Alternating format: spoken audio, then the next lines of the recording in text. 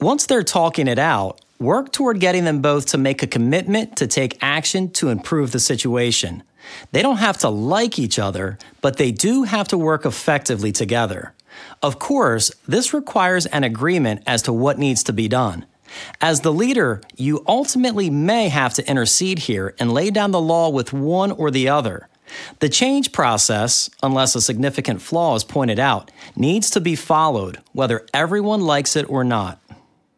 The solution here is really pretty simple. The two of you are going to have to work together to engineer a way for your departments to compromise so you can both meet your goals. Mm, but we have procedures in place now. That would mean having to go back and reworking some of our system fixes. I said simple, not easy. It also means you're going to need to adjust your production schedule. Some of these procedures are locked in now, and there's no way around following them. I suppose I can find some room here and there to make adjustments. You know, it's really not my goal to mess with procedures. I'm just trying to keep production fluid and responsive and keep quality in check. I know. So, I can count on both of you to commit to working this out?